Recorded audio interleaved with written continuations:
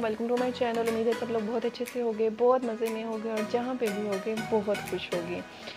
आज मैं आप लोगों को बताने वाली हूँ वजाइनल इन्फेक्शन के बारे में। बहुत ही सेंसिटिव टॉपिक है, हमें नहीं बताया जाता है। हम में अगर ये प्रॉब्लम हो भी, अगर गर्ल्स को ये प्रॉब्लम हो भी तो वो बताते हुए हेजिटेट करती हैं। इसलिए मैंने ये टॉपिक को चूज़ किया है कि आज मैं आप लोगों को बताऊँ कि वजाइनल इन्फेक्शन क्यों है, इसके सिम्टम्स क्या हैं, ये होता किस वजह से है, और इसको आप लोग कैसे ठीक कर सकते हो। बहुत बड़ा ही मसला नहीं है, छोटा सा है। और आजकल हर चार में से तीन औरतों में ये मसला होता है। और इस मसले को ख़त्म करना बहुत आसान है। बस आप लोगों को थोड़ी सी एहतियात करनी है, कुछ प्रॉपर डाइट लेनी है।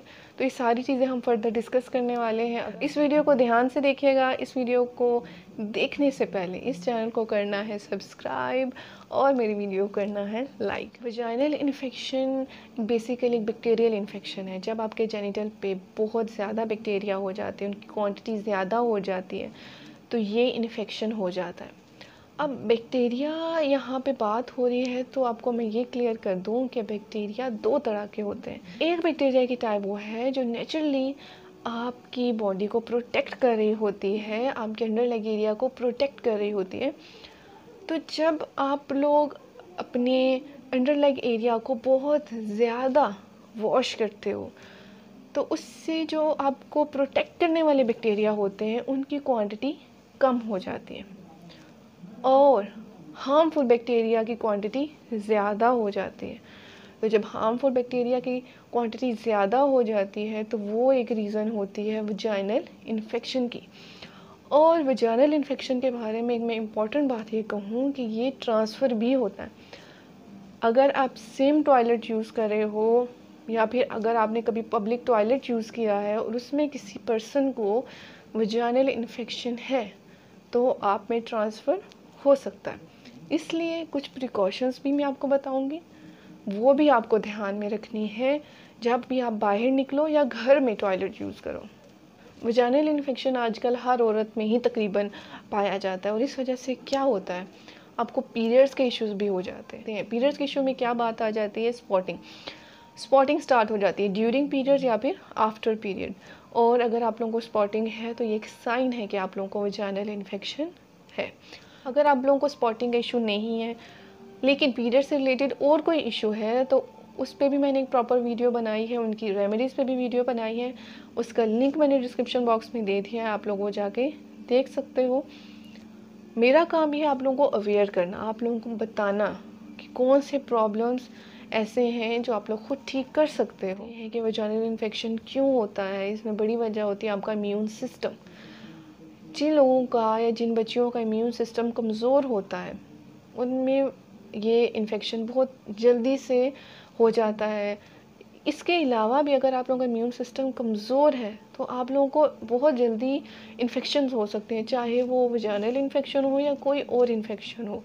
इसलिए आप लोग को अपनी डाइट ऐसी रखनी है कि आप लोगों का इम्यून सिस्टम स्ट्रॉन्ग रहे। कि अगर आप लोग सोप परफ्यूम या जेल ऐसी यूज़ करते हो तो उस वजह से भी बैक्टीरियल इन्फेक्शन हो जाता है। होता क्यों है? उससे आपकी बॉडी को जो बैक्टीरिया प्रोटेक्ट कर रहे होते हैं, वो कम हो जाते हैं।